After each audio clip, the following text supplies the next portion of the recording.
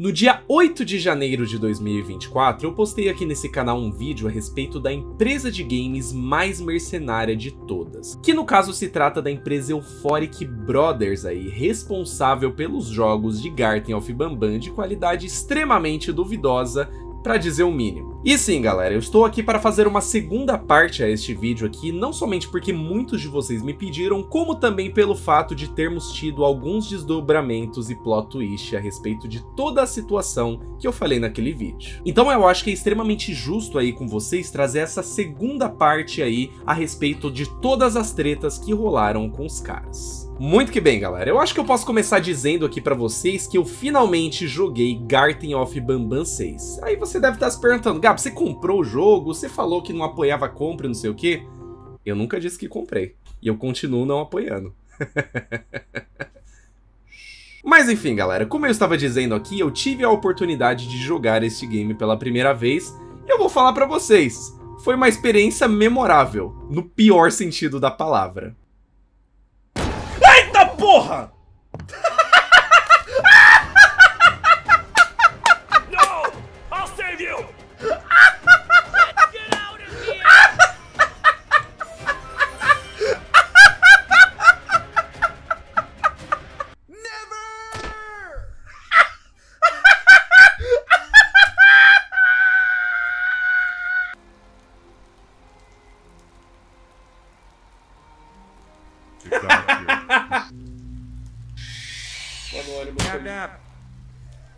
just lost two. This wasn't supposed to happen. We need to follow. Wait, is that the correct bus? Ninguém morre no jogo, tá ligado? Ninguém morre.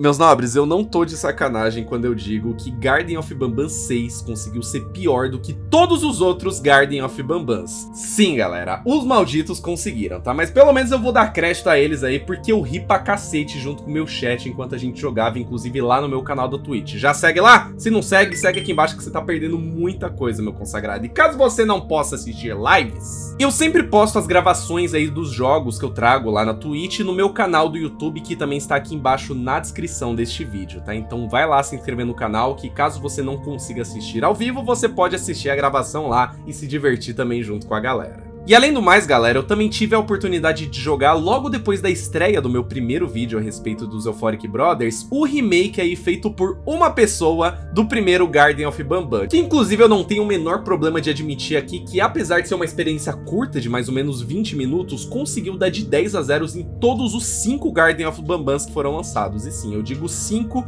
porque o quinto jogo ainda não saiu, tá? Ninguém sabe quando vai sair, ninguém sabe do que se trata, tá até hoje no limbo aí, ninguém nem sabe que merda é aquela. Mas antes de continuar com esse vídeo aqui, rapaziada, eu tenho um recadinho pra dar pra vocês também.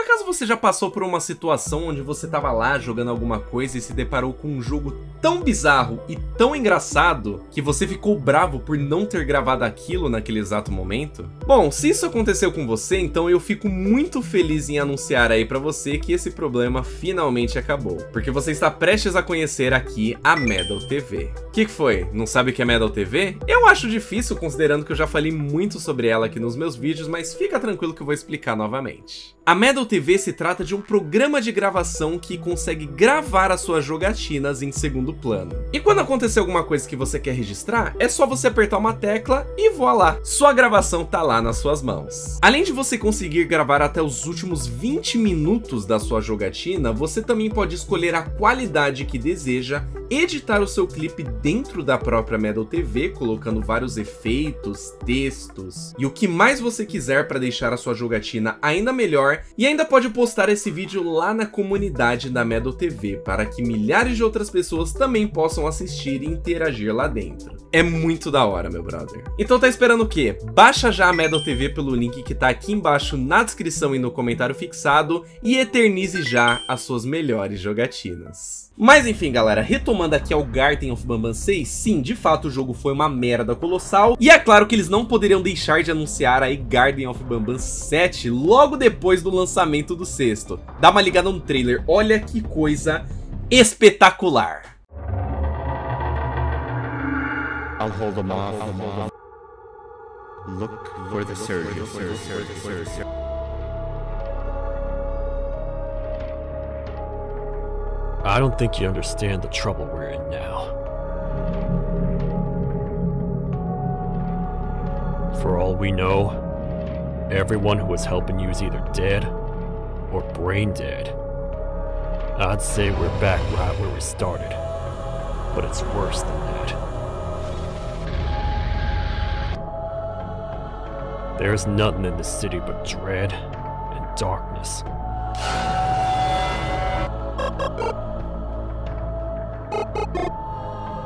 No one here seems to feel anything. And let's just say, partner, I ain't feeling very euphoric either.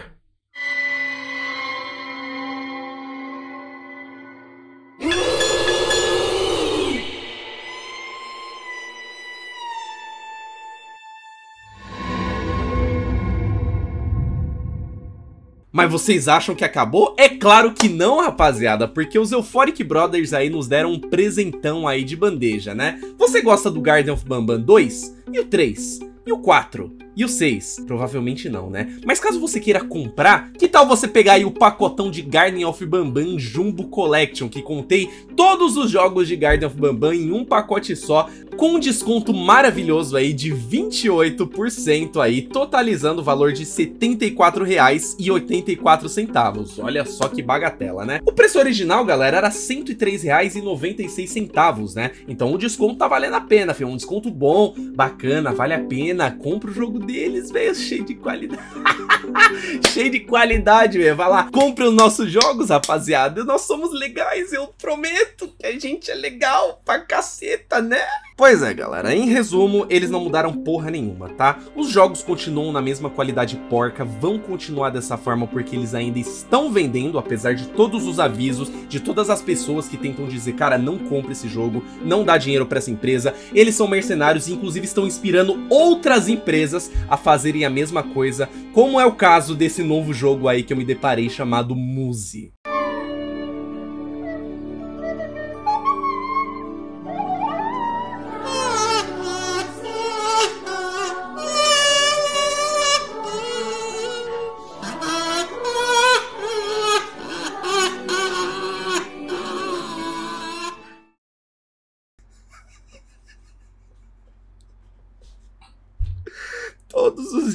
Eu choro pro meteoro bater na Terra, cara. Como que pode a galera ser tão imbecil assim, cara? Dá dinheiro pra essa merda. Como pode, cara? Meu Deus do céu, cara! E obviamente eu sei o que você aí deve estar se perguntando, né? Bom, Gabi, se eles não mudaram as práticas, se eles continuam da mesma forma, que desdobramentos aí aconteceram para você estar tá fazendo esse segundo vídeo? Pois bem, galera. Vocês se lembram que perto do final do meu primeiro vídeo eu falei a respeito de uma treta dos Euphoric Brothers com criadores de conteúdo brasileiros, mais especificamente aí com o Bruno do canal Terrorizando, que inclusive tá até mesmo na thumbnail daquele vídeo? Pois bem, senhoras e senhores, tivemos atualizações aí bem importantes e que precisam ser pontuadas aqui, pra eu também não acabar sendo injusto com ninguém aqui, tá? Então eu precisava fazer esse segundo vídeo aqui pra vocês, de uma forma ou de outra, e eu tenho bastante coisa também pra falar a respeito, então vamos lá. Por onde que eu começo? Vocês provavelmente devem se lembrar lá do meu último vídeo que eu fiz a respeito do assunto, que os Euphoric Brothers, há não muito tempo atrás, decidiram simplesmente expulsar todos os criadores de conteúdo brasileiros da parte de parceiros lá do servidor de Discord deles, certo? Pois bem, eles simplesmente expulsaram todo mundo, tretaram com geral, cortaram contato e vida que segue ficou por isso mesmo. O que todo mundo achava que havia acontecido, galera, é que os Euphoric Brothers expulsaram esses criadores de conteúdo brasileiros por conta de vídeos criticando aí o último jogo do Garden of Bambam até então. Vários criadores de conteúdo fizeram vídeos criticando aí o jogo, posturas que os dois estavam tomando em relação à empresa deles, incluindo o Bruno do canal Terrorizando, que fez vários vídeos depois a respeito de toda a treta, de toda a situação, e inclusive prometeu não trazer mais esse tipo de conteúdo pro canal dele. Aí chegamos em fevereiro de 2024, aonde fomos surpreendidos aí com um plot twist muito inesperado. Que no caso foi que a expulsão do Bruno do canal Terrorizando foi devida, não foi sem motivo. Nesse vídeo aí que ele postou no canal dele, que inclusive eu estarei deixando linkado aqui embaixo na descrição para que você possa assistir por si só, ele detalha exatamente o que aconteceu e, bom, resumindo, rapaziada. ele fez caquinha. O que acontece é o seguinte, galera. O Bruno Terrorizando, junto com outros criadores de conteúdo brasileiros, tinham um acordo diretamente com os Euphoric Brothers. Eles não tinham nenhum contrato assinado, mas era um acordo mais informal, onde eles recebiam as chaves antecipadas dos jogos para que eles pudessem criar conteúdo em cima, jogar, criar roteiro, criar teorias, enfim, para estar um passo à frente de todos os outros criadores de conteúdo que faziam vídeos desse tipo na plataforma também. Obviamente que tinha aquele embargo que provavelmente vocês devem conhecer, né, que no caso você que recebe um jogo antecipado, você não pode postar um jogo antes da data prevista pela empresa, né? No caso eu já tive um certo contato com esse tipo de coisa, porque lá no meu canal antigo, lá que eu tinha com Puma, o Crash Bandicoot Brasil, a gente chegou a receber a chave não somente do Crash Team Racing Nitro Field na época, como também do Spyro Reignited Trilogy, né? Eles dão a chave para você,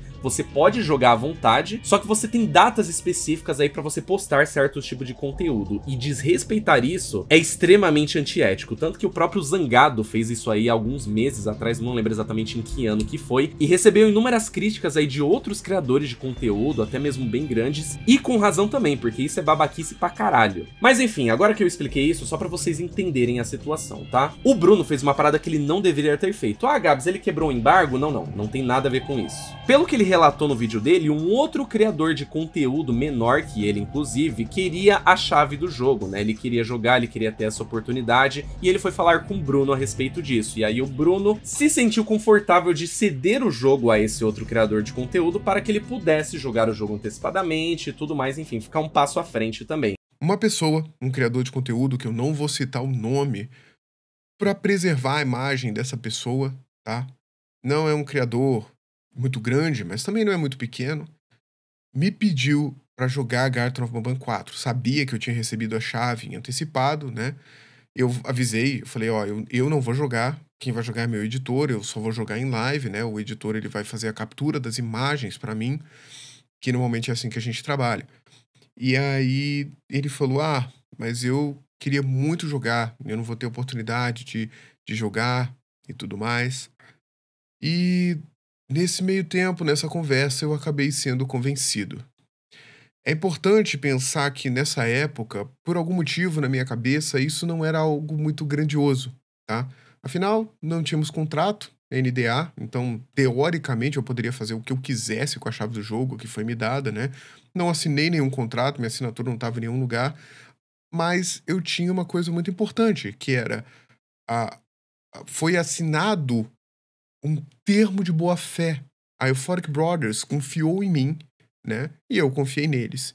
E nesse momento, eu pensei que estava ajudando um criador de conteúdo menor. Eu pensei, poxa, eu queria muito essa oportunidade de ter esse jogo, é, ele não recebeu. E olha só onde eu cheguei. Será que eu não posso ajudar essa pessoa a ter a mesma coisa que eu tive, né? Para ele ver o jogo, já começa a elaborar as teorias dele antes das outras pessoas. Será que eu não posso dar essa oportunidade para eles, como o Euphoric Brothers deu para mim? Será que eu não posso eh, me tornar uma boa pessoa também, dando um pouco a mais né, para o próximo. Foi esse o meu pensamento na hora. Não achei que ia ser alguma coisa muito grande, achei que eu estava ajudando outra pessoa. Só que enquanto eu estava fazendo isso, eu estava quebrando esse contrato moral com o Euphoric Brothers ao mostrar o jogo para essa pessoa. Por mais que não tivesse um contrato NDA, eu não deveria ter feito isso e eu passei a minha Steam, minha Steam completa, não emprestei o jogo nem nada do tipo, eu passei a minha Steam onde tinha o jogo para essa pessoa jogar. Só que o que que acontece, rapaziada? Os Euphoric Brothers perceberam, porque no momento que caiu o embargo, né, no momento que a galera já podia postar, deu tipo, sei lá, 5, 10 minutos, o cara já chegou e postou uma gameplay da parada. E aí os caras olharam, opa, pera aí, alguém mandou essa aqui para eles, e não foi a gente. Assim que acabou o embargo, por exemplo, acabou 11 horas, lança o jogo, e às 11 horas os criadores podem postar os vídeos que gravaram antecipadamente, e essa pessoa também postou. E ela não deveria ter feito isso ela não poderia ter postado esse jogo antes, né? E nem era isso que eu esperava. Eu acreditava até, bom, ela poderia ter gravado, mas ia lançar algumas horas depois ou no dia seguinte, né? Já tinha tido oportunidade de, de gravar, de ver o jogo antes, poderia ter, ter esperado, né? Por sorte, graças a Deus, uma coisa pior dessa não aconteceu, dela ter vazado o jogo, né? Eu, eu me arrisquei muito, e na época, como eu disse para vocês, eu não achava que isso era grande coisa. Eu não sei por que, que eu pensei isso, eu achei que eu estava ajudando as pessoas. Quero dizer que não agi de má fé. Eu não ganhei nada com isso, eu queria somente ajudar o próximo. E acabei machucando pessoas que confiaram em mim. E eu tô citando é o Fork Brothers. Eles confiaram em mim e eu, eu acabei é, ignorando isso deles, né? E isso foi uma atitude muito errada minha. Muito errada minha. E aí, o que eles decidiram fazer? Eles basicamente decidiram tirar todos os criadores de conteúdo brasileiros da parte de parcerias dele lá e simplesmente não falar com ninguém a respeito disso, não perguntar o que aconteceu, não tirar satisfação, nada. Eles só tiraram todo mundo e não comunicaram ninguém. Inclusive, pelo que eu conversei com um moderador do Discord deles também, ele não tinha conhecimento disso. Era um moderador do servidor do Discord que não tinha conhecimento do que tinha rolado com os caras, tá ligado? E sim, galera, o Bruno errou pra caralho. Inclusive, Bruno, não sei se você tá vendo esse vídeo aqui agora, tá? Eu gosto muito de você, tá? Todas as vezes que a gente se encontrou aí na BGS e tudo mais, você foi muito carinhoso comigo e eu tenho muito apreço aí pela sua pessoa. Eu, real, gosto muito de você e você sempre foi um amor comigo, tá ligado? Mas você errou pra caralho, não tem como negar. E ao longo de todas essas semanas, todo o seu público, toda a galera aí chegou atacando os caras, achando que vocês tinham sido expulsos por um motivo que na verdade não era, tá ligado? Só que isso aí, eu culpo os Euphoric Brothers também. Porque eles não deram satisfação, tá ligado? Eles só tiraram todo mundo, não deram satisfação no Twitter, não deram satisfação no Discord, não deram satisfação pros criadores de conteúdo, não chegaram pra perguntar. E aí, porra, você acha que o pessoal é evidente, caceta? Tanto que o próprio Bruno cita no vídeo dele que ele nem se lembrava dessa parada quando rolou toda essa treta, e ele de fato associou que foi porque eles haviam falado mal sobre o jogo, sobre o Garden of Mama 4, ter sido crítica aos Euphoric Brothers, né? E por isso eles acharam ruim e simplesmente decidiram tirar todo mundo, tá? Então, eu não vou ser injusto aqui, de fato, existia um motivo plausível para eles terem tirado pelo menos o Terrorizando do grupo de criadores, não todo mundo. E pelo que o próprio Terrorizando comentou no vídeo dele, ele conseguiu finalmente conversar com os Euphoric Euphoric Brothers e tudo mais, e ele pediu desculpa diretamente a eles, e aparentemente aí eles reataram a camaradagem, tá? No caso, tá todo mundo de boa, os dois apertaram as mãos, resolveram as diferenças e vida que segue, tudo certo. Então eu acho extremamente importante eu trazer para vocês aí o desenrolar de toda essa treta que havia rolado há poucas semanas atrás, porque, bom, apesar de todas as críticas que eu teci aos Euphoric Brothers e a todos os meus problemas a eles como uma empresa, como criadores de jogos e tudo mais, eu não vou ser injusto com os caras também, tá? Então eles não expulsaram os criadores de conteúdo brasileiro simplesmente por terem falado mal dos jogos dele. Apesar deles já terem se mostrado pessoas aí que não aceitam muito bem críticas negativas, como eu mostrei no meu primeiro vídeo. Eu não vou ficar citando de novo aqui. Eu considero aquele lá como um vídeo bem completo aí a respeito de toda a trajetória e todas as polêmicas aí dos Euphoric Brothers. Então se você não viu, vai ver. Apesar de eu ter achado que ele errou pra caralho com essa atitude que ele tomou aí na época do lançamento do Garden of Mama 4, eu preciso aplaudi-lo aqui porque esse vídeo de desculpas é simplesmente maravilhoso, cara. E não, eu não tô sendo irônico aqui, eu tô falando bem sério mesmo. Normalmente com outros vídeos de desculpas aí, quando algum criador de conteúdo faz algum tipo de merda, o criador sempre tenta tirar o dele da reta, falar que ele não fez nada de errado. Esse vídeo do Bruno me pareceu extremamente sincero e honesto, e dá pra ver que ele de fato se sentiu mal com a situação, porque, cara, uma porrada de gente, não somente criadores de conteúdo, como também pessoas, fãs, né, no caso, e os próprios Euphoric Brothers também, tiveram um desgaste absurdo por conta de um erro dele, que só depois ele veio se dar conta e, cara, eu imagino a culpa que ele deva ter sentido, tá ligado? Então eu acho que exige muita maturidade aí para um criador de conteúdo chegar e fazer o que ele fez, tá? Então, Bruno, meus parabéns aí, de fato você errou pra caralho, mas é muito da hora ver que você de fato está tentando resolver as coisas, não somente com os próprios Euphoric Brothers, como também com o seu público, no caso, né? Porque muita gente acreditou na narrativa que vocês tinham sido expulsos por um motivo, que não era o caso, e eu acho muito legal essa sua atitude. Então, ó, meus parabéns, você tem a minha admiração, beleza? Só que além dessa parada, também teve uma outra situação que fez com que o pessoal discutisse muito a respeito, né? Porque no caso, poucos dias antes daí do Bruno fazer esse pedido de desculpas, ele estava cogitando se voltava com o conteúdo de Garden of Bamban no seu canal, porque caso vocês não saibam, ele havia anunciado que ia parar de fazer conteúdo a respeito desse jogo aí, porque bem, se a empresa é babaca e tira dinheiro de otário pra cuspir na cara dos fãs com esses jogos bostas aí que eles fazem e também não aceitam críticas negativas, que era a narrativa que a gente até então tava crendo na época, o pessoal começou a dar um passo pra trás, falar, mano, eu não quero trazer conteúdo desses caras no meu canal, eu não acho certo, eu não acho legal, eu não acho bacana, tá ligado? E poucos dias antes desse pedido de desculpa do Bruno, onde ele descobriu o que aconteceu e veio a público falar, ele estava cogitando se voltava a postar conteúdo de Garden of Bamban no seu canal ou não, incluindo vídeos de teorias que ele estava fazendo e tudo mais, enfim, esse tipo de vídeo. E eu confesso pra vocês, galera, de início eu fiquei bem incomodado com essa parada dele ter decidido simplesmente não postar nada a respeito do jogo no seu canal em respeito aos seus inscritos e depois cogitar voltar a postar aquele tipo de conteúdo no seu canal, tá ligado? Eu confesso que de início eu achei meio paia, só que aí eu comecei a pensar mais a respeito e eu falei, caceta, mano. Eu também já fiz isso várias vezes. Para vocês que não conhecem aí a história do meu canal, eu comecei aqui postando jogos.exe com meus amigos, jogos de terror, entre outras coisas, tá ligado? Depois de um tempo eu cansei, eu falei, não quero mais fazer isso. E aí eu comecei a trazer jogos tradicionais. E aí depois eu voltei a trazer jogos de terror. E aí depois eu parei de novo porque eu comecei a jogar Friday Night Funk e falei, não quero mais fazer jogo.exe. E aí depois eu voltei de novo, tá ligado? Então, cara, é uma parada que todo criador de conteúdo passa, porque querendo ou não, rapaziada, esse tipo de conteúdo dá view. Não dá pra ser hipócrita simplesmente falar, não, mas eu não faço isso pensando em views, não sei o que. Não, todo criador de conteúdo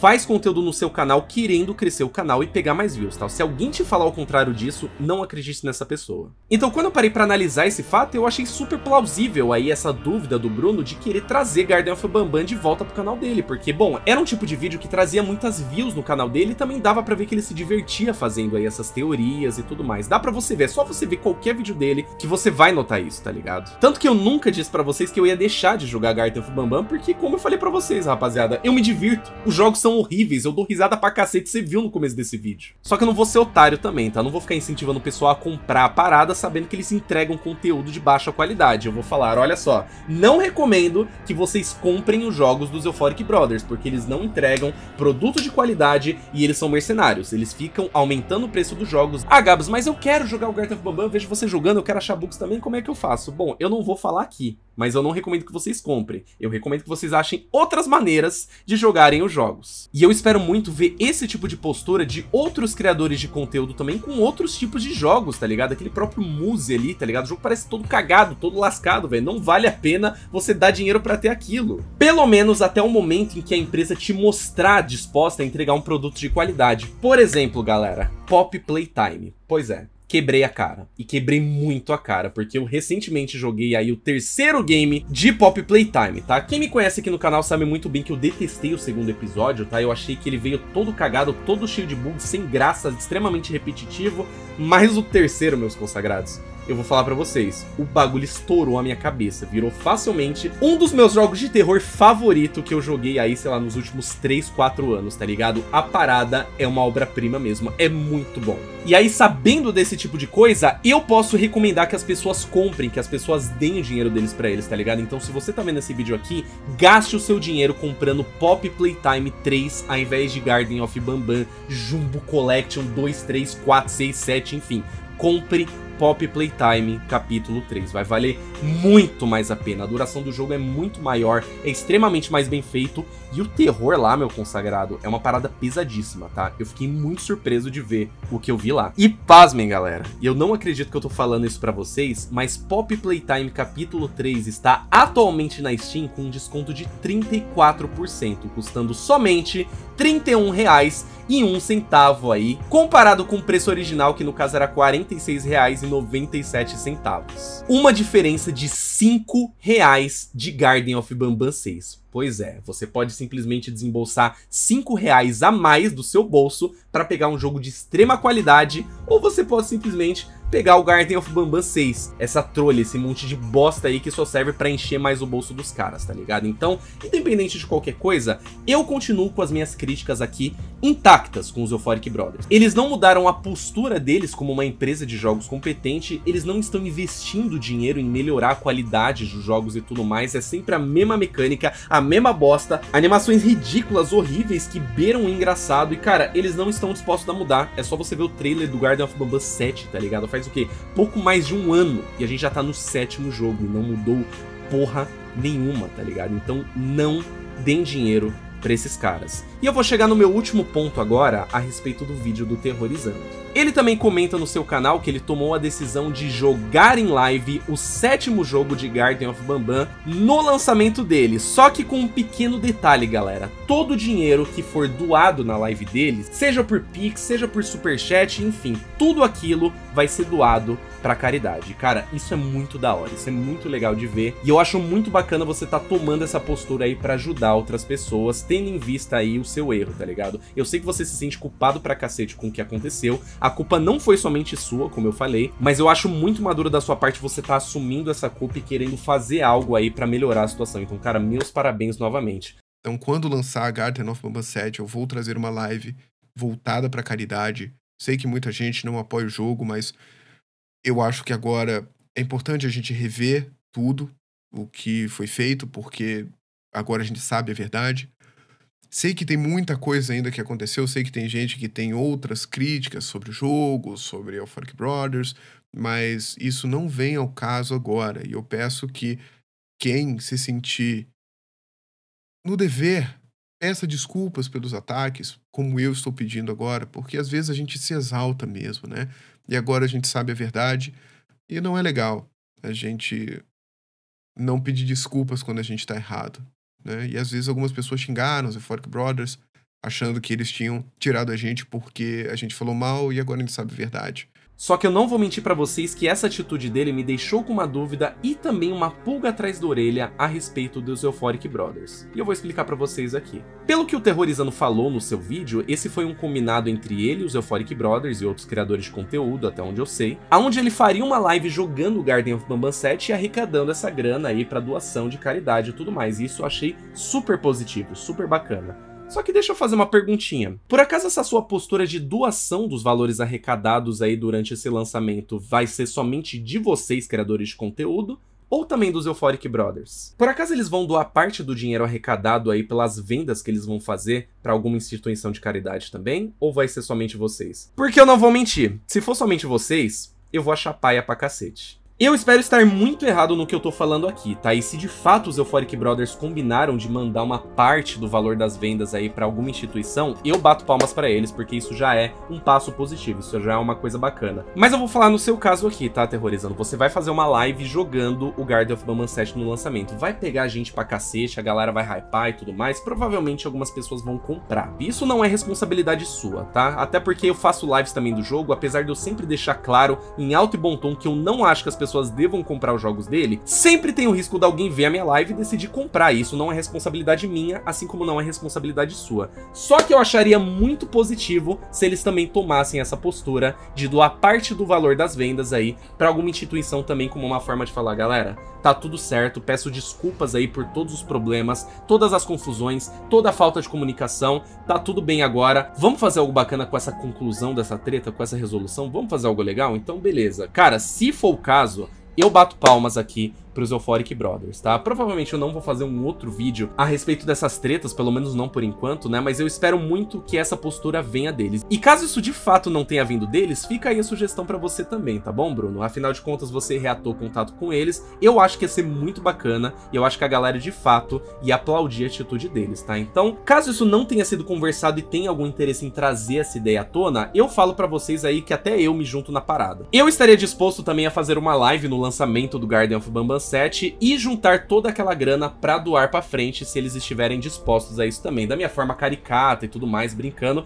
Mas se eles tiverem culhões e estiverem dispostos a fazer isso, eu me prontifico aqui, eu falo publicamente pra vocês que eu farei isso também, como uma forma de aplaudir a atitude dos Euphoric Brothers aí, porque pelo menos alguma coisa de positivo de fato vai sair da parte deles. Eu acho bacana vocês terem resolvido as diferenças de vocês, acho muito legal isso. Só que no final das contas, pelas posturas deles aí como uma empresa de jogos, mudou alguma coisa? Pra mim não mudou, tá ligado? Então, fico na torcida aí pra eles também aderirem a essa sua atitude super bacana, tá, Bruno? Porque afinal de contas, eles vendem jogo pra cacete, tá? Pode ter certeza que os malucos já tá lotado de grana e pelo visto eles estão conseguindo economizar bem no desenvolvimento dos outros jogos, tá? Então eu tenho certeza que eles não vão quebrar a empresa nem nada do tipo, doando uma parte desse valor pra alguma instituição de caridade, tá? Inclusive algumas pessoas que me acompanham na Twitch sabem que eu já cheguei a fazer algumas lives aí arrecadando uma grana pra doar pra algumas pessoas, algumas causas bacanas também. Inclusive uma recente na qual a gente ainda está arrecadando aqui é para ajudar a cachorrinha do meu editor Falcon, tá? Que no caso é a Cat, né? Caso vocês não saibam, o Falcon se trata não somente do meu editor que eu contratei recentemente aqui para editar alguns dos vídeos desse canal, como também um amigo principal muito querido para mim.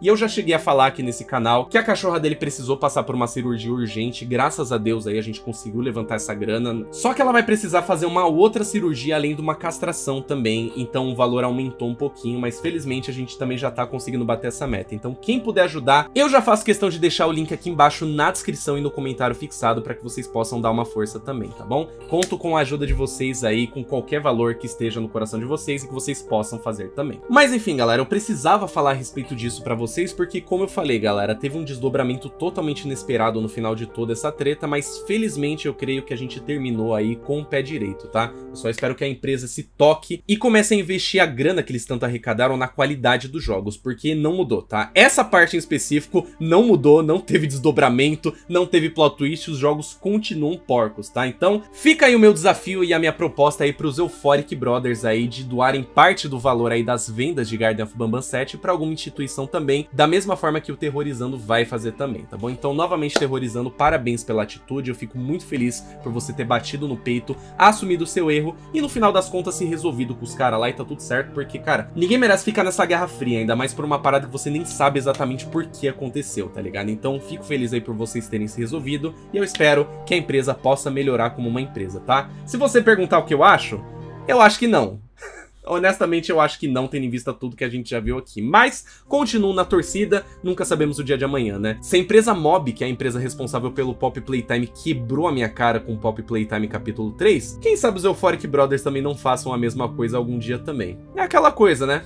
Nunca diga nunca. Enfim, galera, muito obrigado por terem assistido esse vídeo, tá? Eu sei que muitos de vocês estavam me pedindo aí pra trazer esse desdobramento de toda essa treta, então eu espero que eu tenha sido claro o suficiente. E eu desejo tudo de bom pra vocês também, tá bom? Eu agradeço muito aí pelo feedback que vocês têm me dado no canal, a galera adora assistir os vídeos, interagir e tudo mais. Então, cara, eu fico muito feliz de coração, vocês me ajudam muito, vocês não fazem ideia do quanto, velho. Então, muito obrigado mesmo. No mais, galera, eu vou me despedindo por aqui, tá bom? Então, novamente, se você curtiu esse vídeo, não se esqueça aí de se inscrever no canal canal aqui embaixo também. E é claro, deixar um like também nesse vídeo para que ele seja recomendado para mais pessoas também, tá? E aproveita para deixar o seu comentário aí, falar o que você achou da parada. E no mais, galera, a gente se vê na próxima. Vamos ficar na guarda aí do lançamento de Guardian of Bambam 7, porque meus consagrados fazia tempo que eu não dava tanta risada como eu dei no dia que eu joguei o Guardian of Bambam 6, cara. Mas enfim, galera, um beijo para vocês. Valeu, falou, até mais, a nós e tchau!